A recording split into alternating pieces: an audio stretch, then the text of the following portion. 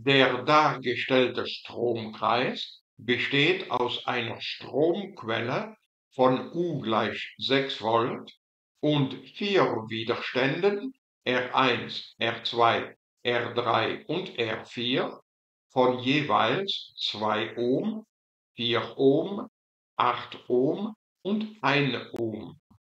Berechne den Gesamtwiderstand R und die gesamte Stromstärke I. Wir schreiben zuerst die Angaben auf. Die Spannung U beträgt 6 Volt und die Widerstände R1, R2, R3 und R4 betragen jeweils 2 Ohm, 4 Ohm, 8 Ohm und 1 Ohm. Gefragt werden der Gesamtwiderstand R, den wir in Ohm ausdrücken, und die Gesamtstromstärke I, die wir in Ampere ausdrücken. Die drei Widerstände R1, R2 und R3 sind parallel geschaltet, also zu diesen drei Widerständen haben wir diese Formel von Kirchhoff zur Verfügung.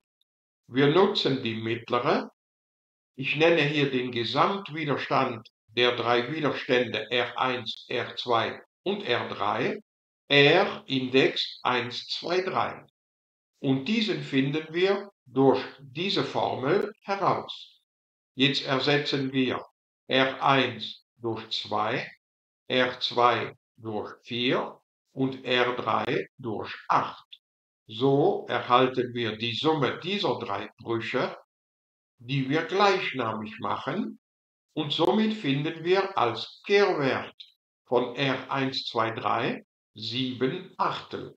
Also ist dieser Widerstand R123 gleich zu 8 Siebtel Ohm. Die Widerstände R123 und R4 sind in Serie geschaltet. Dazu haben wir also diese Formeln von Kirchhoff zur Verfügung. Die mittlere besagt, dass wir den Gesamtwiderstand finden als Summe von R123 und R4. R123 ersetzen wir durch 8 Siebtel und R4 durch 1 und somit finden wir als Gesamtwiderstand 15 Siebtel, das heißt 2,14 Ohm ungefähr. Der gesuchte Gesamtwiderstand R beträgt also ungefähr 2,14 Ohm. Das halten wir als erste Endantwort fest. Jetzt suchen wir noch die Stromstärke I wir haben aber die Spannung U, die beträgt 6 Volt, und mittlerweile haben wir auch den Gesamtwiderstand R, der beträgt 2,14 Ohm. Also eignet sich hier das Ohmsche Gesetz U gleich R mal I, um I herauszufinden. U gleich R mal I hat als Folge, dass I U geteilt durch R ist. Das heißt, 6 geteilt durch 2,14. Und das macht ungefähr 2,8 Ampere. Die Gesamtstromstärke I beträgt ungefähr 2,8 Ampere. Das ist unsere zweite Endantwort.